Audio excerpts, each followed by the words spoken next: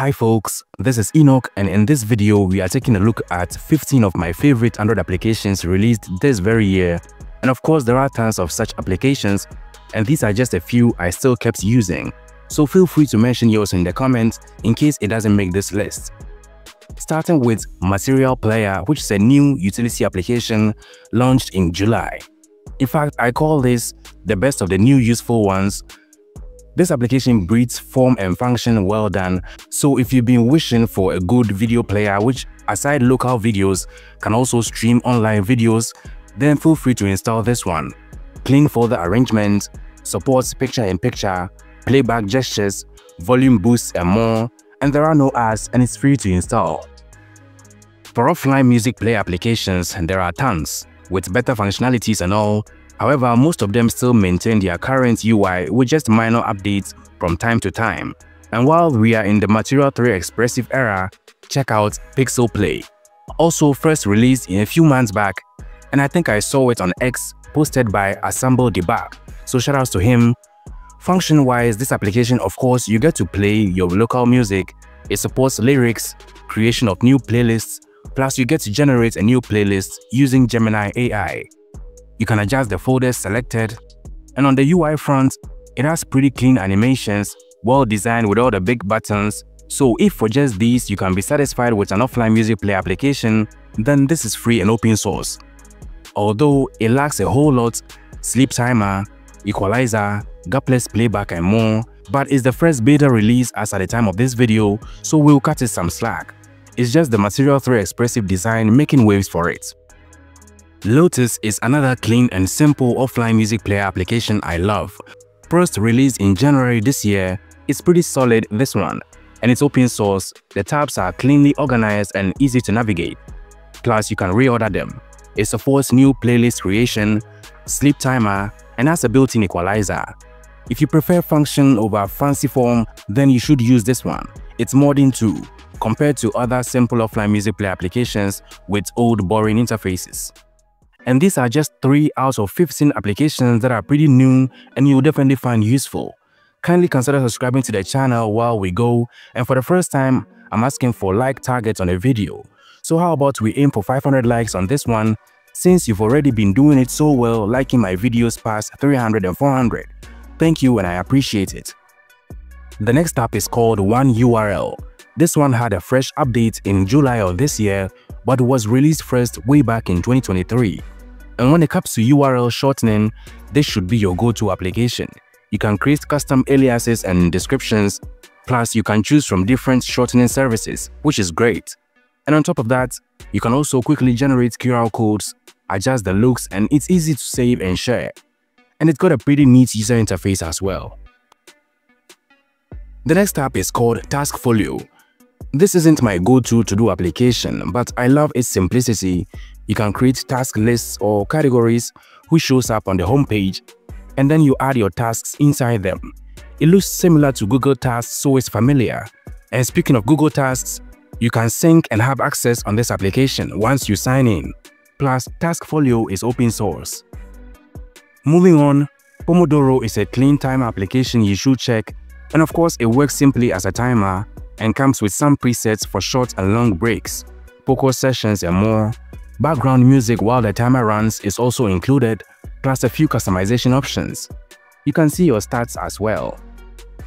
And since the introduction of Material 3 expressive design, many applications have jumped on board and still on timer applications, Tomato is a well-designed modern timer application, of course on the Material 3 expressive design style.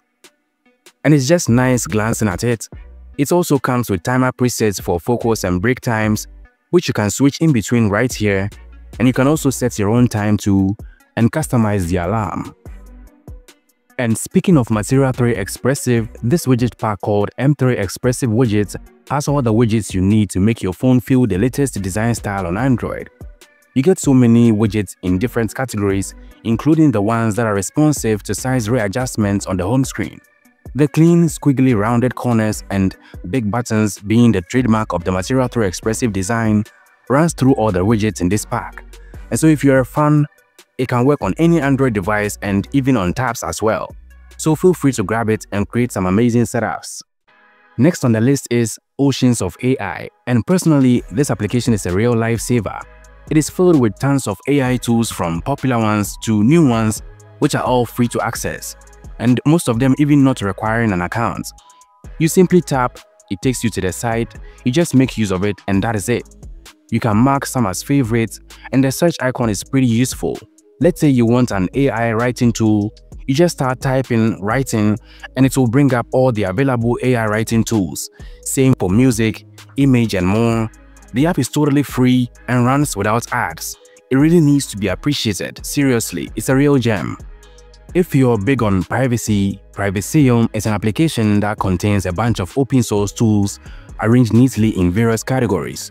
You get open source calendar applications, emailing applications, file sharing apps, password managers and more, you just tap on what you want and you get direct access to the service. Plus, you can search for tools as well. Next up is Binary Sweeper. This application enables a fast way to free up space on your phone and it's very simple to use.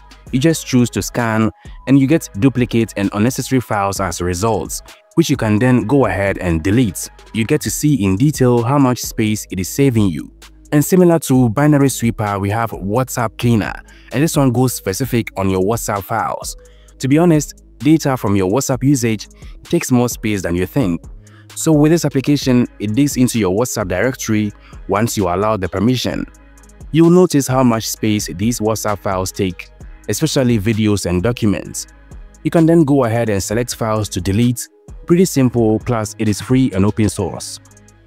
Moving on, you can turn raw photos into amazing professional looks with this application called Glit.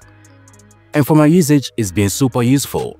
It's got filters, adjustment tools, leaks, blur effects, greens, perfect for editing your photos. If you've loved using Snapseed and PicsArt, once you try this application, you will never go back, and it's easy to use. Another incredible image editing application I love is called Film Simulator and this one comes with tons of filters in several categories, letting you create different kinds of looks for your photos. Very useful on images you take raw with your camera. The filters with their previews comes in handy. Photographers will definitely love this application. It is free with no ads and it's open source. And still on images, we have Adima, which is a great photo enhancement tool. And that is just it. You add an image and the app upscales it to a much higher quality. It takes a while though, but the output is incredible. So you can just have this application to enhance low quality photos and again, it is free to install with no in-app purchases. Of course, there have been some useful Android applications released this year and these are just a few that I still have on my phone. So let me know down in the comment section if you also know some new applications that you want me to check out and I'll definitely do a part 2 of this video. Again, consider subscribing to the channel if you found this video useful and let's hit our 500 likes target for this video. And as always, thank you for watching.